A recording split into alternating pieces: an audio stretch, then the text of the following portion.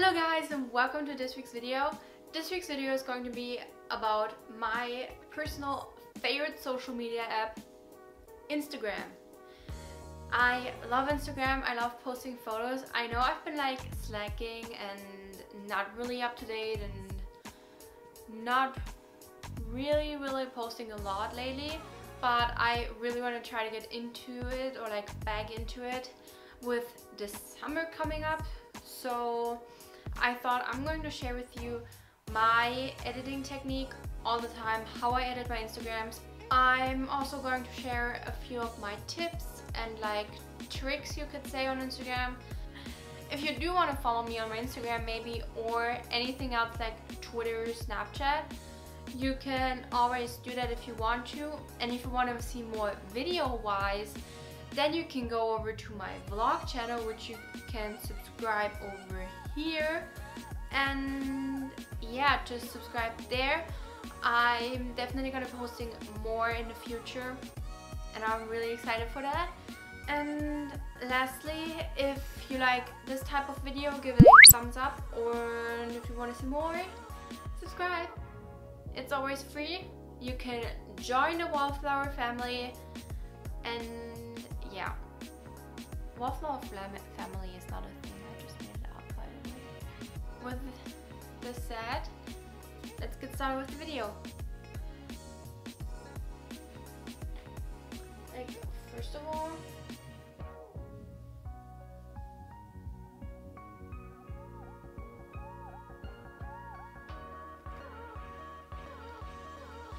My theme is kind of white, gray, black with a splash of color. And that's kind of my theme for a long time now because that's just what I like and I think you should make your theme about what you like and not just be like hey this YouTuber or my favorite star is doing this and this theme I'm gonna do it now because it's like I tried it and it's like so hard to keep up a theme with like things you don't even like just because you want to copy someone else. So my first tip is just be yourself like in every situation. And yeah, post pictures of things that you like.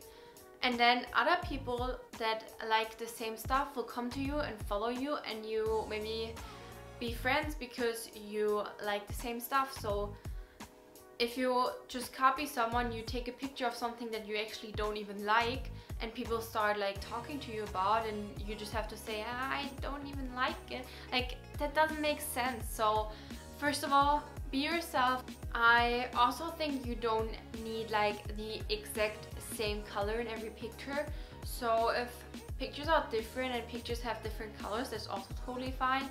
Honestly do what you want. I just share my own things next tip would be to have good quality pictures. Like no one wants to see a pixely picture nowadays. So just make sure that the things that you want to have in focus are actually in focus and have good lighting. I just the one tip that I can give you for that is use natural lighting. Like I take all my pictures outside or like most of my pictures and if I don't take them outside I take them like on my bed where it's getting straight lighting from my window so it's always always natural lighting for me. For cameras I mostly use my iPhone to take thing to take pictures of things or like actually selfies or stuff like that I use my iPhone and if I want to have nicer outfit pictures, I definitely use my DSLR or my G7X. Depends on what camera I have with me right now.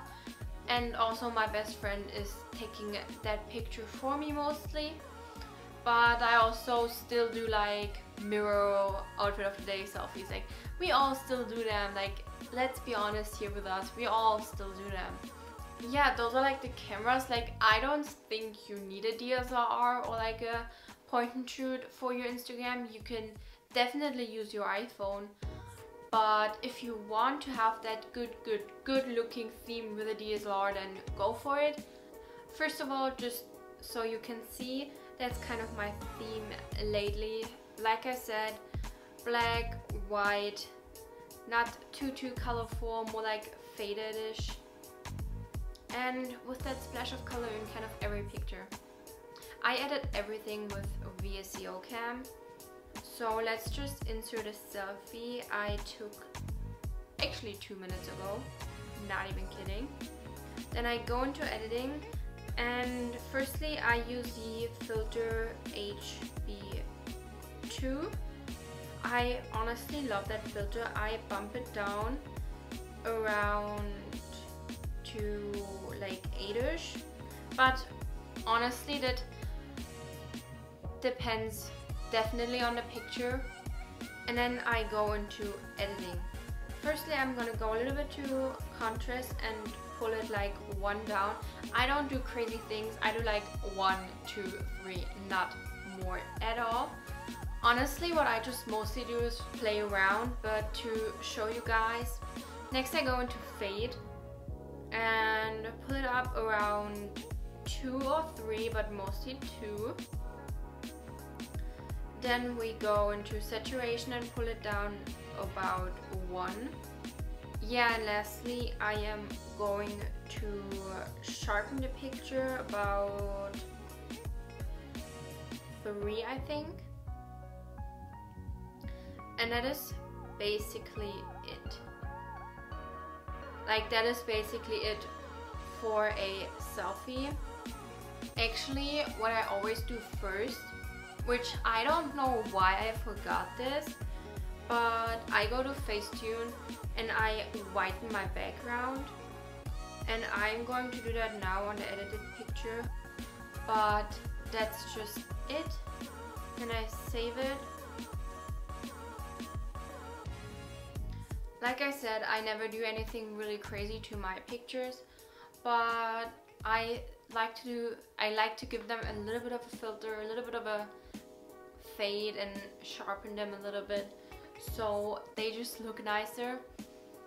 But honestly, that's everything I do. Put HBO over it, a little bit of sharpen it, a little bit of fade, a little bit down the saturation, and I'm good. And before I do it in VSCO cam, I whiten the background because my backgrounds are mostly white or gray. So that's just that's, that's just kind of my theme.